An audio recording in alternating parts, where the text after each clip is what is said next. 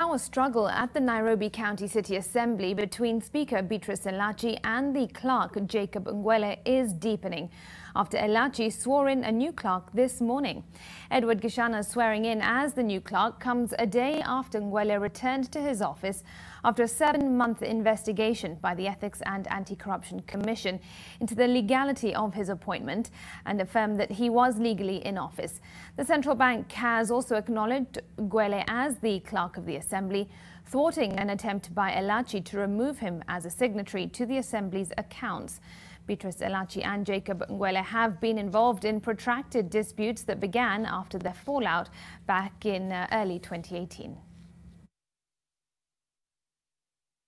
I want to make a promise that